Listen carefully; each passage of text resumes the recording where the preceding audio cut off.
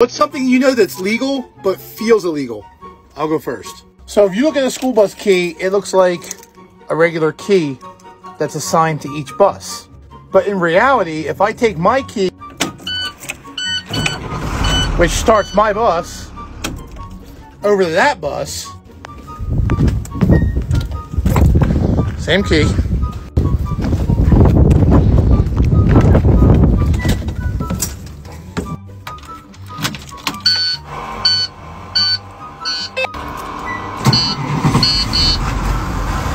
That's my bus.